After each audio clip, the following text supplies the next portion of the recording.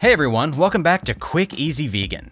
Here are our five vegan Mediterranean recipes. Enjoy. Number one, couscous bowl. Couscous is an important ingredient to a lot of Mediterranean countries. One yummy dish is a couscous bowl. Start by prepping all of the vegetables. Now, put into a medium pot the broth and couscous and bring it to a boil. Once it reaches a boil, bring it down to a simmer and finish cooking until there's no more liquid left. In other words, cook it just like you were making rice. Now, saute the onion and tomatoes in a pan with a tablespoon of olive oil on medium low heat until they're soft. Once done cooking, set them aside. After that, make your tahini sauce by adding all of the tahini ingredients into a bowl except without any of the cold water. Whisk the ingredients together until they're well combined. After they're combined, add in one tablespoon of cold water at a time into the tahini mixture and whisk together until it becomes a smooth sauce. The more tablespoons of cold water you add, the runnier the sauce will become. Now, it's finally time to assemble the bowl. Put the couscous in the bowl first, then place all of the vegetables neatly on top of the couscous.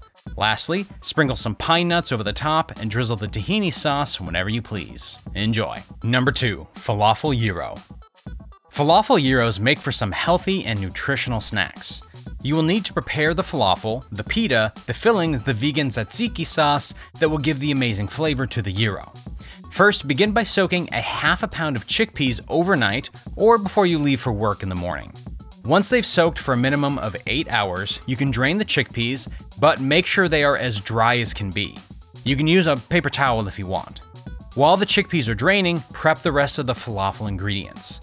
Once your chickpeas are dry, put all the falafel ingredients into a food processor. Food process this mixture for around 30 seconds or until the ingredients look like small wet breadcrumbs.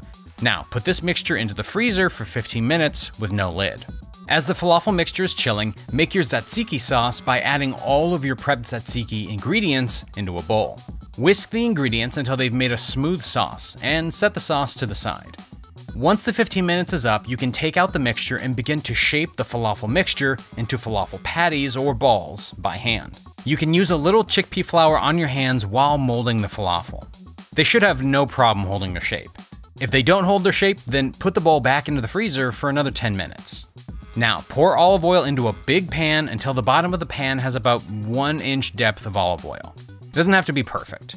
Heat the oil to 370 degrees Fahrenheit or around medium heat for around 1 to 2 minutes.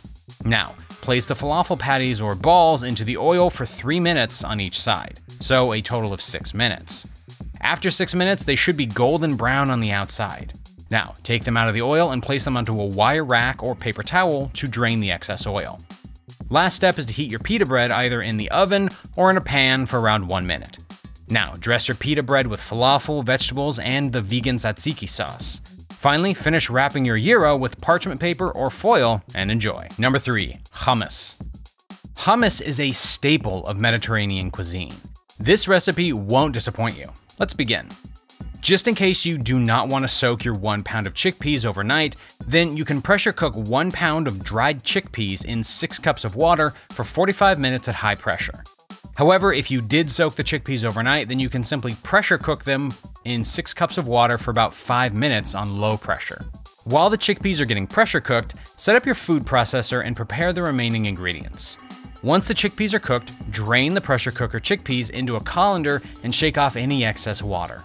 Now, take the drained chickpeas and pulse them a couple of times in the food processor for about 15 seconds. After that, add 1 cup of olive oil, 1 cup of tahini, 6 to 8 pressed garlic cloves, and 1 tablespoon of salt into the food processor. Now, process the ingredients for about 1 to 2 more minutes until the mixture starts to get smooth. Lastly, add the other 1 cup of olive oil and process the mixture for another 2 minutes or until you get your desired smoothness. If you want your hummus extra creamy, you can add a teaspoon of baking soda into the pressure cooker with the chickpeas. You can also add a cup of plain oat milk into the hummus and process the hummus for around one minute. There you go. You have your delicious extra creamy hummus ready. Number four, hummus wrap. This hummus wrap can be prepared within 20 to 30 minutes. They're easy to make, nutritious, and delicious.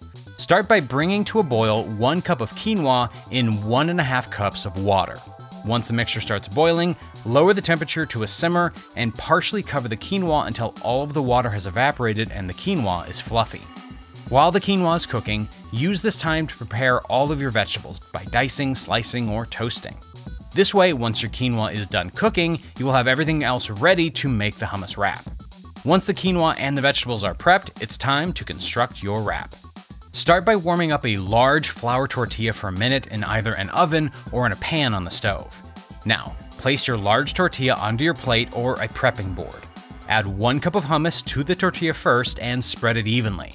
Then add the rest of the ingredients evenly over the hummus. Lastly, wrap your tortilla and enjoy. Number 5. Bulgur. Bulgur is another really popular Middle Eastern food. It is typically made from the cracked, parboiled groats of several different wheat species. To begin, start by prepping all of your vegetables.